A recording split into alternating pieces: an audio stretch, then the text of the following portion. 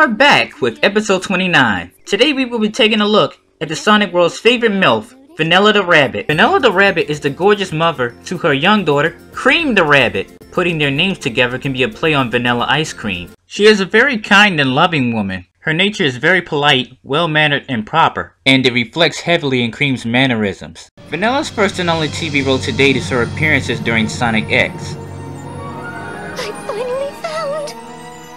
reuniting with Cream after being separated from her, during episode 39 in season 2. After Sonic X, Vanilla went on to be featured in the Sonic Archie comics, appearing in both the pre- and post-Super Genesis Wave continuity. Here, she is still very much her sweet loving, proper, and concerned parent self. In the Archie comic stories, not only is Vanilla Cream's mother still, she is also the aunt of Bunnie Rabbot, but this relationship only applies in the Genesis reality. Vanilla made her first ever comic appearance in Sonic the Hedgehog issue 217, first appearing when Snively attacks her, Cream, and Cheese's home, believing there was a valuable energy source under their house.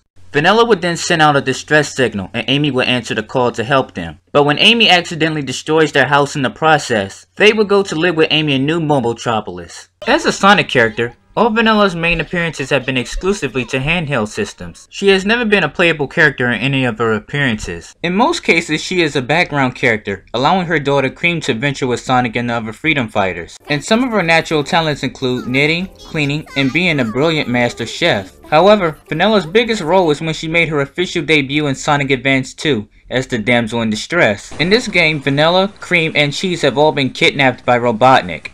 But when you first arrive on the scene and defeat Eggman, you only manage to rescue Cream and Cheese. Later after the player defeats Egg Utopia, if the player had collected all 7 Chaos Emeralds, a bonus battle will be unlocked, where Vanilla is once again captured by Eggman. Sonic and the others arrive on the scene just a bit too late, and as Cream cries for her mother, Sonic taps into the power of the Chaos Emeralds. After unlocking Chaos Control, Sonic then takes off into space in order to get Cream's mother back. Sometime during the battle, Sonic manages to destroy the egg vacuum and reclaim Vanilla's pod, but Sonic wasn't entirely out of the woods just yet, as Vanilla's pod plummets to Earth and shatters in the process.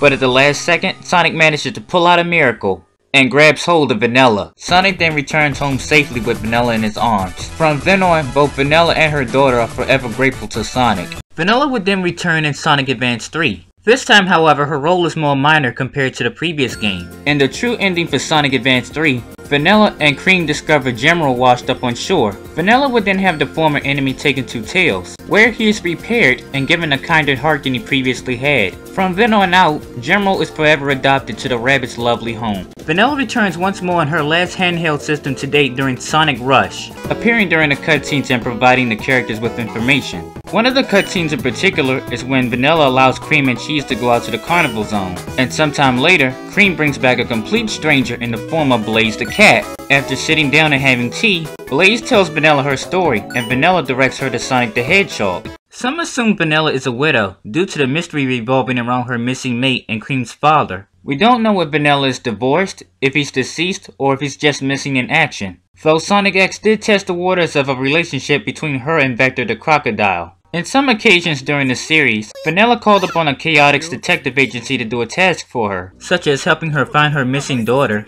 and delivering boxes to Chris. Vector and Vanilla did seem to like each other, especially Vector, who would pull many unnecessary shenanigans just to impress her. But even with the feeling being somewhat mutual, in the TV series they never had a flat out romantic moment. Well, I suppose that concludes this video on Vanilla the Rabbit. On one last note, Cream, give your poor mom a break. She very sick about you.